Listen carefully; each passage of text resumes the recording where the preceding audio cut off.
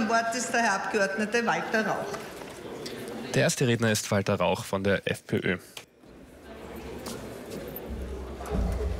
Sehr geehrte Frau Präsident, Herr Bundesminister Hohes Haus, äh, der Antrag des Abgeordneten Hofer, unseres Präsidentschaftskandidates aus dem Jahr 2014, geht es um den Anbau und das Einfuhrverbot von Gentechnik-Mais in Österreich.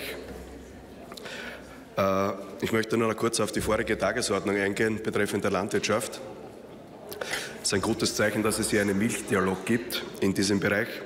Äh, Herr Bundesminister, auch lobenswert in Ihre Richtung.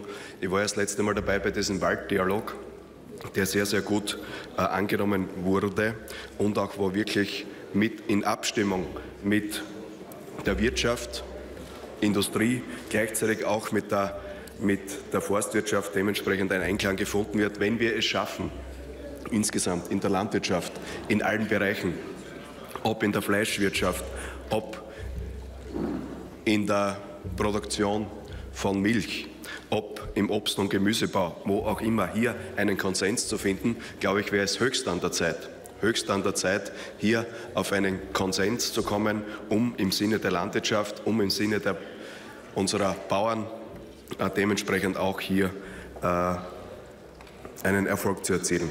Denn wenn man die Diskussion vorher verfolgt hat, hat man schon eines gesehen. Nur in der Vergangenheit sich zu wälzen, ist insgesamt zu wenig und nützt keinen einzigen Landwirt. Ich komme nun zu dem Antrag äh, des Ingenieur Norbert Hofer aus dem Jahr. Warum haben wir diesen Antrag eingebracht? Das war nämlich diesbezüglich auch wieder die Diskussion ins Leben zu rufen, dass Gentechnik insgesamt ein Thema ist, vor allem in Hinkunft auf TTIP. TTIP ist nämlich ein, äh, ein Instrument, dieses Freihandelsabkommen und im Vorfeld vielleicht durch die Umgehung von CETA, äh, dass es hier mit der Gentechnik dementsprechend äh, Tür und Tor beim Anbau von Mais oder auch im Bereich von Lebensmitteln dementsprechend geöffnet wird. Es haben ja insgesamt im Jahr 2014 bereits 19 EU-Staaten äh, Verzicht auf, diesen, auf diese Zulassung äh, sich gewährleistet, äh, betreffend der Aussaat von gentechnisch veränderten Maissorten und hier explizit die Sorte 1507. Wir haben es ja auch geschafft, im, im Ausschuss, im Umweltausschuss, einen gemeinsamen Antrag über alle Fraktionen hinweg äh, einzubringen, der auch dann danach abgestimmt wird. Und zwar, äh, wo die Bundesregierung aufgefordert wird und ersucht wird, die Zulassung von GVO-Pflanzen durch die Europäische Kommission alle gemäß Gentechnikgesetz und Gentechnikanbauverbotsrahmengesetz notwendige Maßnahmen zu treffen, um den Anbau in Österreich hintanzuhalten.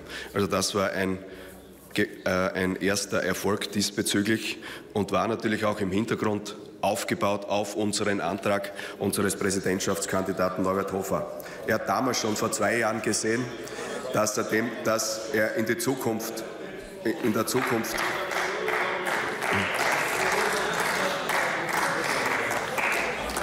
hat damals schon in weiser Voraussicht, in weiser Voraussicht gesehen, äh, dass dieses Thema äh, dementsprechend wichtig für Österreich ist. Und er ist auch der einzige wahrzunehmende Kandidat, der einzige wahrzunehmende Kandidat. Ja, ich verstehe schon die Aufregung seitens der Grünen. Ist ja kein Problem. Ich weiß, dass Ihre Nerven zurzeit ein bisschen blank liegen, aber das ist nicht das Thema. Äh, entscheidend ist es für uns, dass unser Präsidentschaftskandidat schon in weiser Voraussicht vor zwei Jahren äh, gesehen hat, dass es ein wichtiges Thema ist und nicht nur das, sondern sondern auch, sondern auch, sondern auch äh, dementsprechend äh,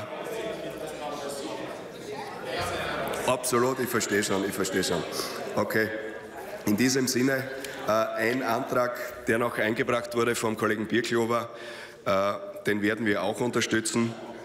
Ihr, auch in weiser Voraussicht vielleicht für die nächsten Jahre äh, die, die Kennzeichnung tierischer Lebensmittel die gentechnisch veränderte Futtermittel ernährt wurden. Die Kennze Absolut, sehr gut. In diesem Sinne, in diesem Sinne, unser Kandidat für die Bundespräsidentschaft ist dementsprechend Norbert Hofer für Sie. Äh, freut uns, dass wir eine breite Unterstützung hier im Haus haben. Danke. Walter Rauch von der FPÖ zeigt sich besorgt, dass das Freihandelsabkommen TTIP Tür und Tor für Gentechnik öffne. Der Anbau von Genmais in Österreich müsse aber hintangehalten werden, sagt er.